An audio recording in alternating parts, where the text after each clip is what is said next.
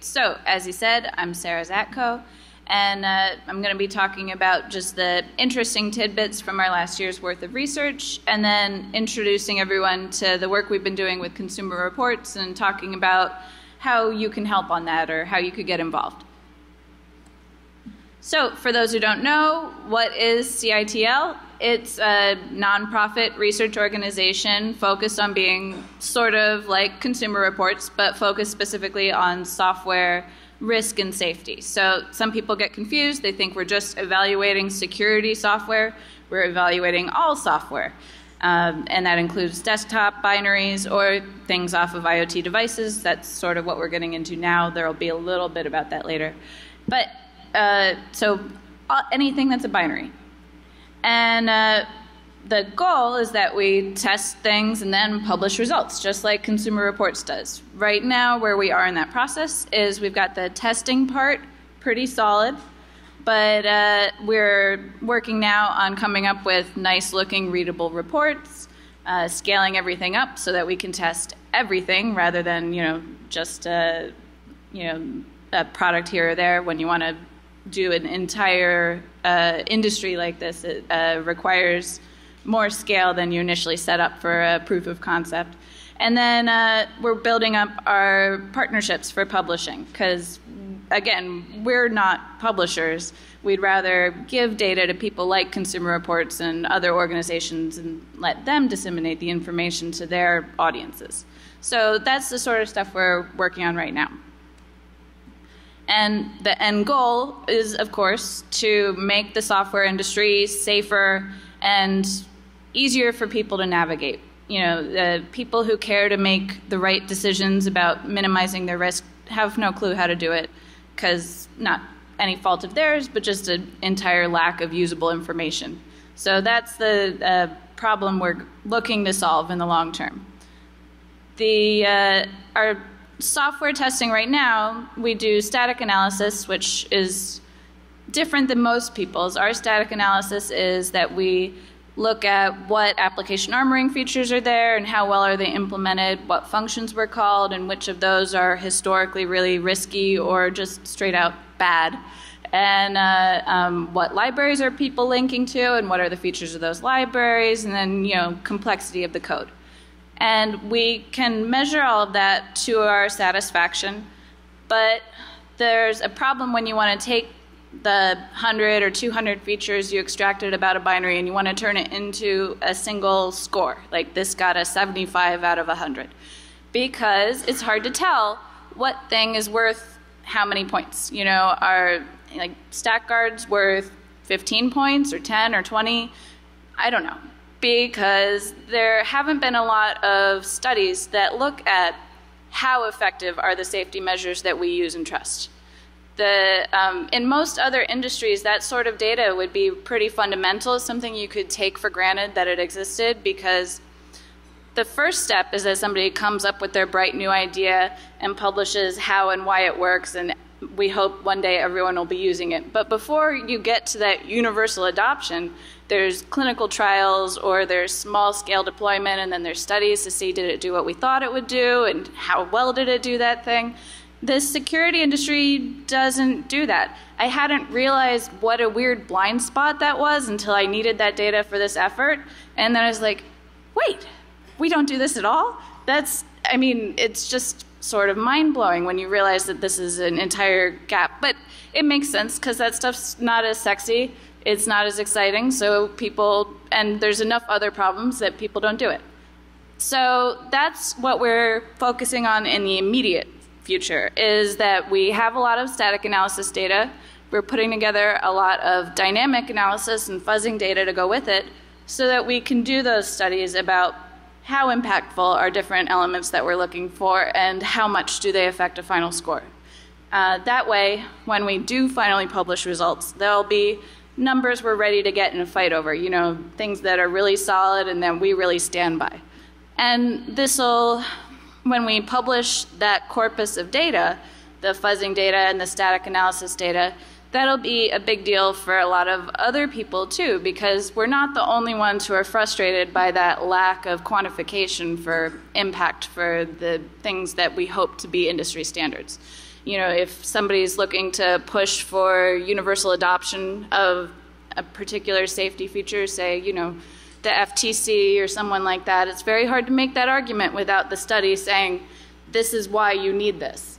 And, uh, you know, it's also, I believe that this gap in the body of existing research is at least partially responsible for the success of snake oil salesmen in our industry.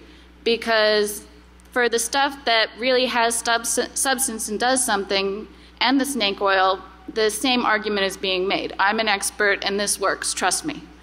You know, the non expert doesn't have the sort of data that they'd have for any other decision making process and it looks the same to them. So whichever one's better marketed and prettier looking is the one they're going to go for.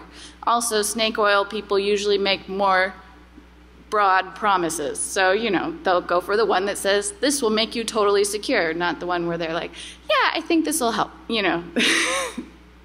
so, I'm very excited about the research we're doing right now to build up that corpus of data, and that's what we're hoping to have as our next big thing, is releasing that. But for now, on to our talk, and what do we have uh, to show you today?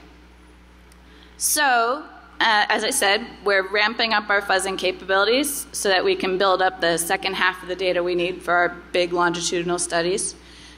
And uh, so we're going to look at the really early stuff coming out of there and talk a little bit about the fuzzing framework that we're building up. And then we're going to get into the interesting tidbits from our static analysis so far. So we're going to look at comparisons of major OSs, a couple smart TVs, a couple Amazon AMIs, and then for applications, we're going to look at browsers on all those major OSs, and then uh, revisit Microsoft Office for OS X because uh, there's an interesting case study there. And um, finally, we're going to talk about our work with Consumer Reports on the digital standard, which again, I'm very excited about. It's nice to have so much work to do that you're really uh, uh, feel like it's going to make a difference sometime, you know. uh, okay, so fuzzing. We've fuzzed about 300 binaries so far, which might sound like a lot in some contexts, but uh, given that we've done static analysis on over 100,000, it's not where it needs to be yet. Um, and what we're building is a system that can do fuzzing in a fully automated fashion. So set up a VM, install the software to be tested, take a bunch of existing test harnesses and try them out on the binaries. If something fits, then you fuzz it, and then do the crash triage to identify primitives, all in an automated fashion. When most people are doing fuzzing, their goal is to hit a particular target. But what we want is just breadth. We want as many different kinds of binaries as possible. So if something doesn't work, we just ditch it and move on to the next thing. And you know, so that means we can build up a larger set of data, although probably a little idiosyncratic looking to somebody who had a different goal in mind. And uh, to do this, we're customizing AFL and Triforce QEMU and also borrowing some stuff out of the Cyber Grand Challenge. And uh, that put together is called CITL Fuzz, very creatively. Maybe we'll have a better name for it somewhere down the road. Uh, names aren't totally my specialty if you saw the talk title. but uh, so we've fuzzed about 200 binaries with AFL and about 100 with CITL Fuzz so far. So for the CITL Fuzz results, those are it's not a terribly rich data set at the moment, but one interesting thing you can do is look at the packages where we fuzz multiple binaries and see how well did those packages do as a whole. So um, what we have here is package name, number of binaries, how many of those crashed, that as a percent, and then total number of unique crashes for that package.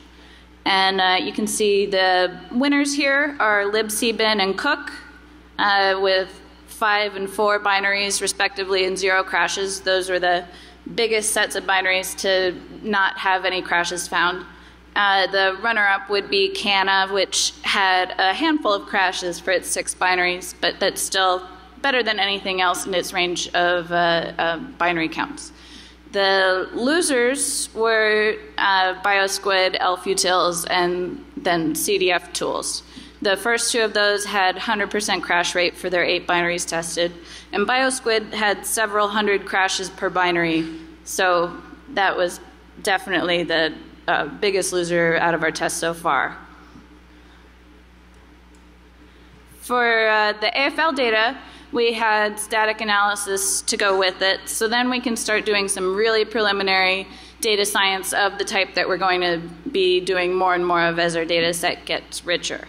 Right now, uh, we're only getting numbers of unique crashes and the signals, but later on we'll have primitives identified and then we'll be able to do more complex uh, math magic.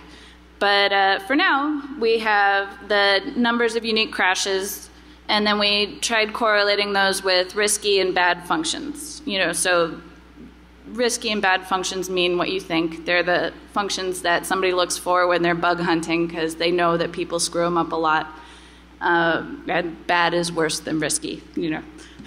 um, so, uh, the highest correlations that we found were for execlp and exec V, which uh, you know had a pretty high correlation rate with numbers of crashes. Uh, and you know, it, this is again really early days in a pretty small data set. So it's an exciting early tidbit and tells us that there's going to be some really cool stuff when we uh, get this fully up, up and running.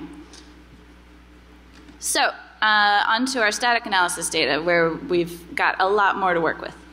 Uh, so, first up, operating systems. Um, you know, an operating system has thousands, maybe tens of thousands of binaries. Each binary has a score.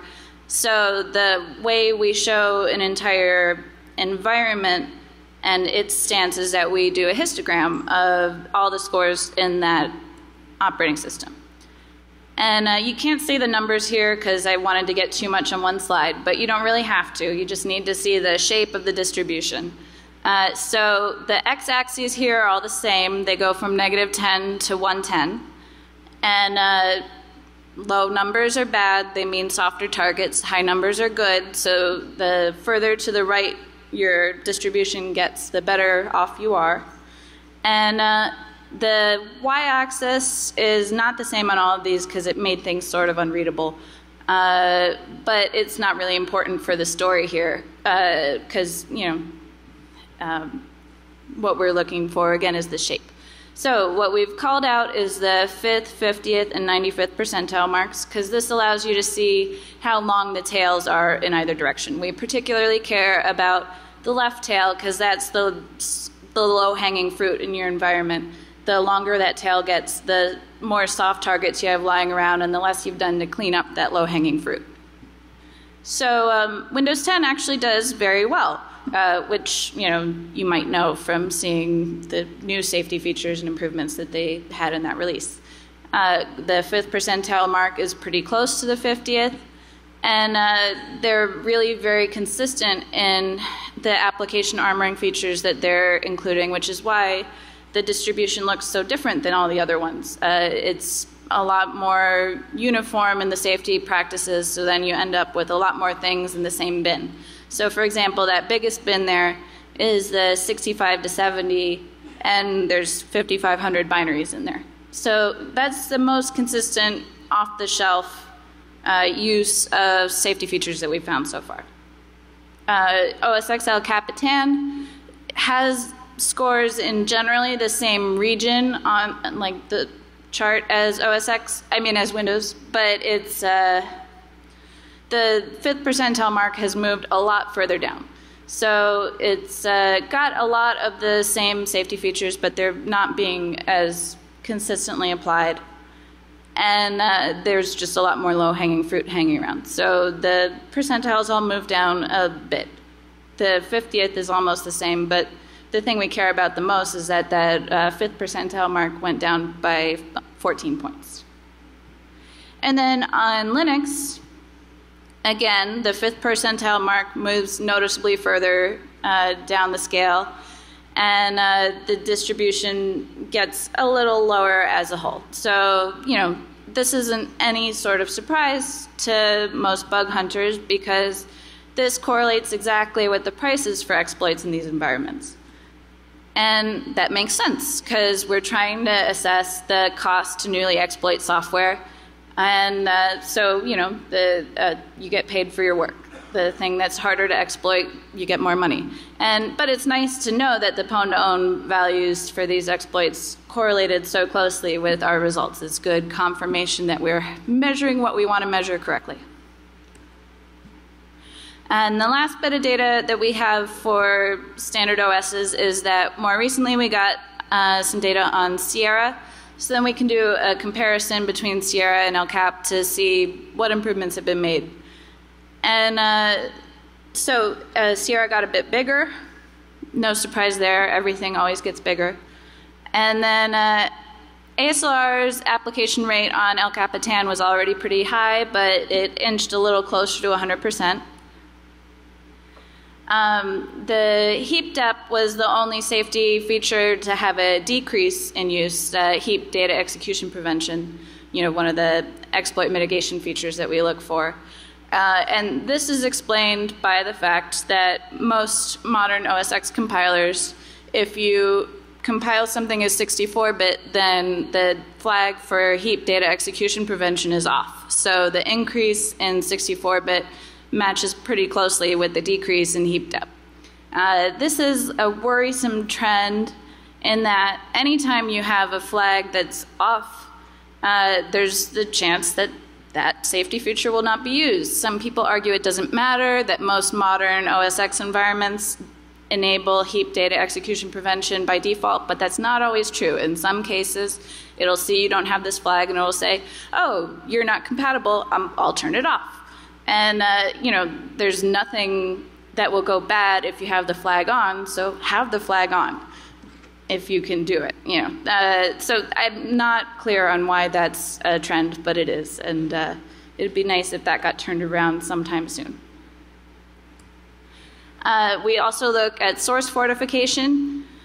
And uh, the num- percent of binaries that were fortified was about the same, although the number that were unfortified went down, so good. Uh, you might notice that these numbers don't add up to 100%. That's because the way we tell whether there was source fortification is that we look for the unfortified versions of these functions and we look for the fortified versions. And you know, if you don't have either in your binary, we don't know what flags you had, and it doesn't really matter, you know, because uh, it's irrelevant. It didn't make any change. And then uh, the last bit is looking at what percent of the binaries had functions from our different categories. So good, bad, risky, and ick all mean exactly what you think. Uh, ick is just the couple functions that no one should ever use in commercial code. Uh, there's not really, it is just two or three functions. So, you know, it's, uh, you have to be special to get in there. And uh, here, again, the story was pretty positive. Bad and risky both went down by about 10 points, uh, I mean 10%. And then uh, good was actually the biggest increase we saw across the board, going from 8% to 25% of binaries with good functions in them was, you know, a really pleasant surprise. And uh, so next I'm going to look at a chart that shows the impact of corporate policies for software installation. Uh, so uh, I'll do some explaining on this one, just bear with me.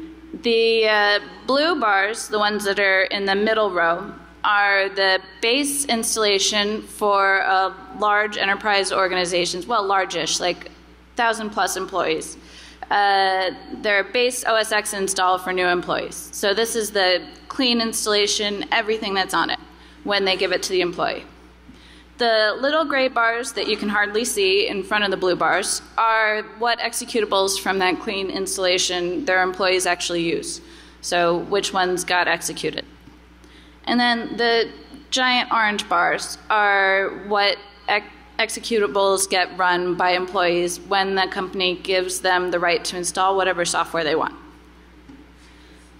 So the if you're looking at the live attack surface being presented by your organization, those gray bars versus those orange bars are the comparison.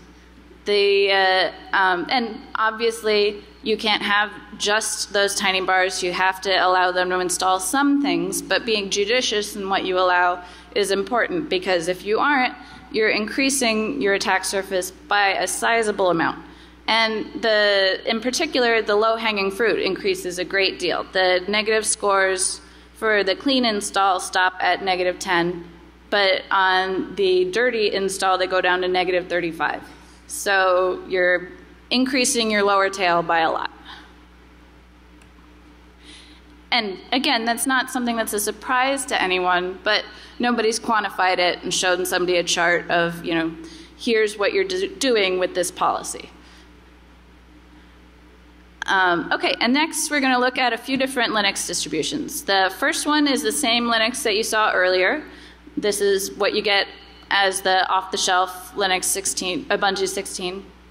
And then uh, the one below it is an example of what you get when you take an off-the-shelf Linux install and do a modest hardening effort. So no, co no code modification, but you take out the stuff you obviously don't need and you recompile it with all the modern safety features enabled that won't get in the way of normal operations. You know, this is a very reasonable thing to expect from any major vendor when they're putting out something with a Linux environment. Obviously, that's not what they do right now because nobody makes that modest uh, effort if no one's going to notice. Uh, so, what you see if you take apart a smart TV and get the binaries is uh, the two things we have on the bottom here a Samsung Smart TV and then an LG Smart TV. And uh, these are worse than the off the shelf Linux. They're lower distribution, uh, they have lower points overall because they're missing a lot of fundamental safety features. Uh, you know, they have, they're smaller, they're 4,000 and 2,000 binaries respectively, but they're clearly not uh, doing all the things a modern Linux environment does from a safety perspective. And uh, for comparison, if you look at Amazon's AMIs for Linux environments, they're the same size. These are both 2,000 binaries, so you know, very comparable footprint.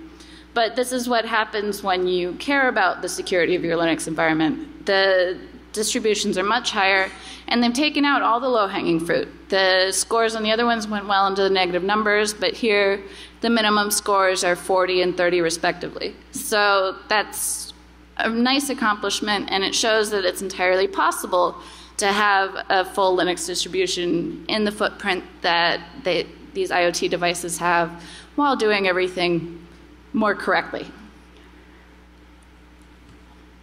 So to see why those smart TV scores were as low as they are, here's uh, some data similar to what we saw for the OS X stuff, uh, just showing all the safety features that the smart TVs don't have. Uh, I've highlighted in light orange and light red the uh, bad and really bad numbers respectively, uh, you know, math terms. And uh, I'm comparing it to the hardened Linux because they should have made some effort to harden. That's the bar they should be compared to. So uh, ASLR is lower than the standard because the standard is that we're getting really pretty close to 100%. And then uh, RelRo is almost non-existent. That's uh, a Linux-specific application armoring feature that's really pretty common these days. And uh, stack guards and fortification were basically non-existent on LG. They were there on Samsung, but much lower than industry standard. And you know, that's all reflected in their scores. So that's it for uh, full environment views of operating systems. Now we're going to use those histograms as the context for scores for individual applications. And so you see the same histogram that we had for OS X earlier, only now it's showing you where the different application scores fall. And below it, we've got our hardening line, soft targets to the left, harder targets to the right, and uh, we're calling out where specific applications of note fell on that. So for OS X browsers, uh, the Firefox score was not great. Uh, Safari was middle of the pack, and then Chrome did decently. Not amazing, but decently. And, uh, you know, this is, uh, I don't know, not maybe a earth-shattering result to some people, but again, it's nice to quantify things. For Linux, uh, just to have a third one to throw in, we did Opera. They're clearly a little bit further behind the times in terms of some of the safety features. Um, and uh, for Chrome and Firefox, they presented an interesting case. So here, first I'm showing the scores that they got just for the executable, the main executable alone, not taking into account the libraries they're calling. I'm doing this because viewed that way, they got the same score. Granted, uh, the one bit of static analysis that we're still working on is our evaluation of sandboxing. If when that gets finished, Chrome will probably gain a few points, so they'll probably uh, get a little further ahead of Firefox there. But right now, they're neck and neck, except when you bring libraries into account, where Firefox falls 15 points behind Chrome. And you know, this is important to point out because this was Firefox's home turf. This was their chance to shine. But, you know, if you bring in libraries that are scoring negative tens, then that's going to, you know, be reflected in your uh, permanent record. And, uh, you know, they, uh, a lot of times when people are figuring out what libraries to use, they think first about functionality, because that is admittedly very important, as is what license it's using. But third place should be its security stance. Uh, people fall into the trap of not my code, not my problem, but it's code you're linking to from your product and choosing to execute when your customer runs your product. So you should care about it. Uh, that mini rant over onto Windows browsers. So uh, here we looked at Firefox, Chrome, and Edge. And uh, again, Chrome will probably gain a few points when we get the uh, sandboxing thing in place. But for now, Edge being on its home turf uh, got a near perfect score. Uh, slightly better than perfect because uh, they did they got bonus points for a couple things very few people do, and um, so the not a huge surprise there. Firefox uh, is, again, away from their home turf, so they fell down a bit. And uh, if we were going to pick one of these Firefox binaries to count as the Firefox binary, uh, we would pick the 32 bit because that was the one we got when we went to their main website and clicked download. You know, that, I mean, it didn't have it explicitly labeled as 32 bit, but when we checked, that's what it was. And you know, it took a little bit of hunting to find the 64-bit one. So your average consumer is not going to do that. Uh, so you know, you get credit for what you make available. And uh, again, the Pwn2Own values for exploits match up pretty closely with the uh, rankings that we'd give these uh, applications. You know, Microsoft Edge and Google Chrome are at the top Safari's in the middle, and then Firefox is relatively cheap. Um, and then our last bit of static analysis data that we're looking at is Microsoft Office for OS X. Last year we beat up a bit on them for Office 2011. People rightly asked, okay, what about 2016? So we bought that and tested it and uh, presents an interesting story. Uh, so here's those bad uh, 2011 scores that we had last year. Uh, in particular, their auto update scoring a 7 was pretty embarrassing. And their average for all binaries in that package was around a 16. So, uh, you know, just uh, not a good showing all around. But when you look at Office 2016, uh, they really did much better. The average binary score increased by 60 points and the auto update went from a 7 to a 64. And, uh, you know, when a new Office suite comes out, I know I'm not in a big rush to get it because all the features that I need I already have and I'm using in the current one, and I know that all is, all that's going to happen is they'll have moved a bunch of buttons on me and it's going to take me a week to be productive in it again. And so, you know, it's not one of my priorities. But sometimes there's more hidden features, and this is an example of that. So if somebody who's responsible for purchasing decisions for a large organization had this sort of data available, then they'd be like, okay, guys, sorry, you have to find out new locations for buttons. Like, you know, the, we're upgrading. So, uh, done with our data that we've collected. Now, on to the work we've been doing with consumer reports. Uh, in particular, uh, the digital standard, which launched earlier this year, and uh, the, you can go to this website to see the first draft we put together. And what this is, is that Consumer Reports, recognizing the need for software evaluation for their own product reviews, uh, asked us to be part of a group they're forming. Uh, the other groups are all focused on digital rights, uh, privacy. One of them is focused more on governance side. There's data sharing. You know, they're uh, trying to be a pretty broad view of uh, consumer digital rights. And uh, together, we put together this uh, uh, first draft of the digital standard, which is our first stab at a testing standard for how you would evaluate software or IoT products from a digital rights perspective. And uh, we've done a couple initial rounds of testing based on the standard we put together, uh, including the browsers and smart TVs that you saw earlier in the talk. And all those other organizations tested the same devices, but since the full report hasn't been published yet, I'm just sharing our uh, side of that because that's the part we're allowed to share. Um, right.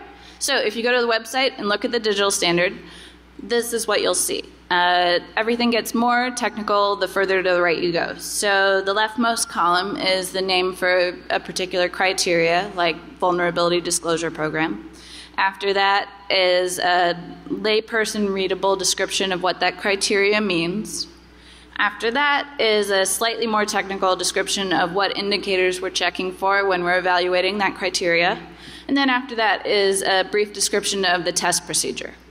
So if something has a little green check mark by it, like this one does, that means we're pretty happy with this one. It's pretty fully baked, and we feel like we have a test procedure in place that scales well enough for Consumer Reports' needs or some other similar kind of effort.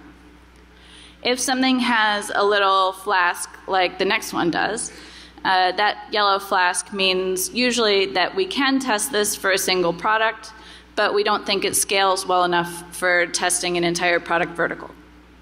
Uh, so, you know, there'll be a test procedure there, but it's something that needs work in order to figure out how to make it uh, be more automated.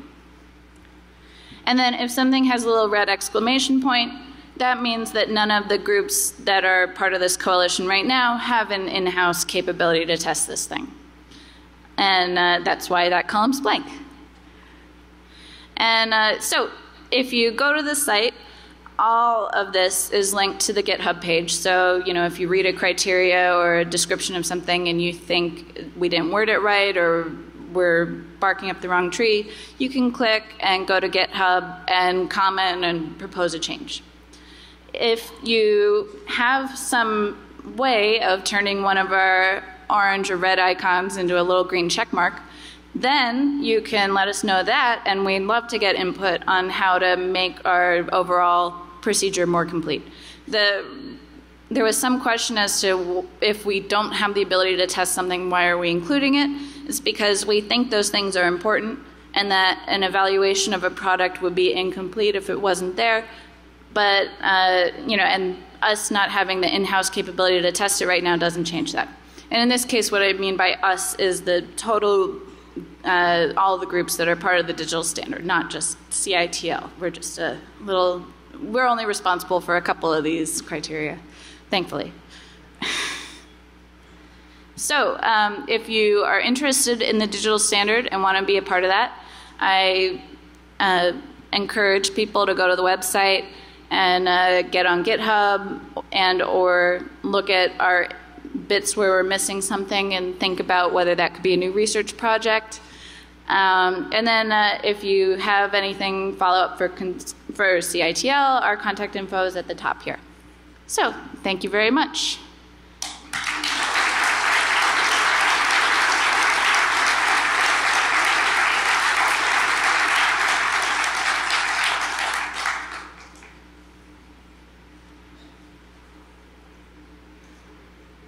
Um, and uh, are we doing questions? I don't know.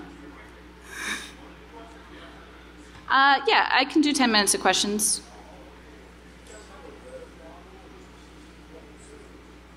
Uh, we're a nonprofit, so uh, we're figuring out a way to support the organization while sharing as much data as we can. Uh, but public service is the main goal. Sorry, I forgot to repeat that question. Uh, but he just wanted to know whether uh, what the business model was. Yes.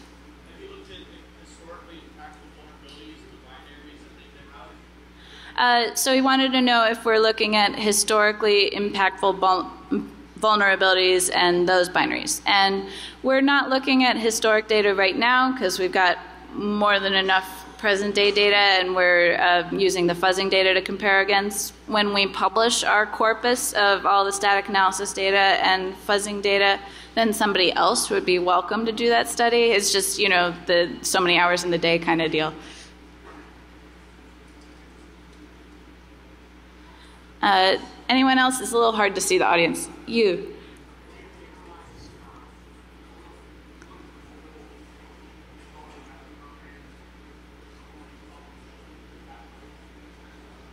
Uh, could you could you say that louder?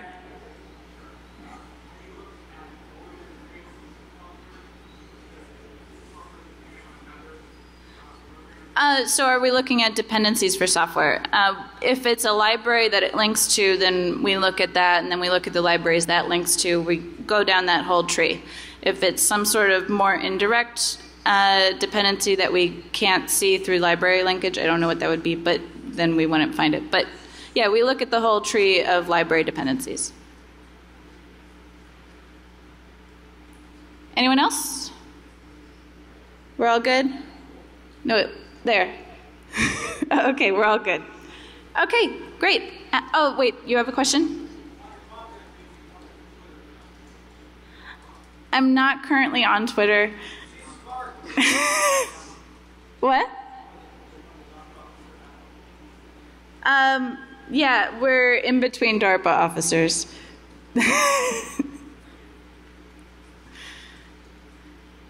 okay, so everyone's good? Uh, then have a great DEF CON.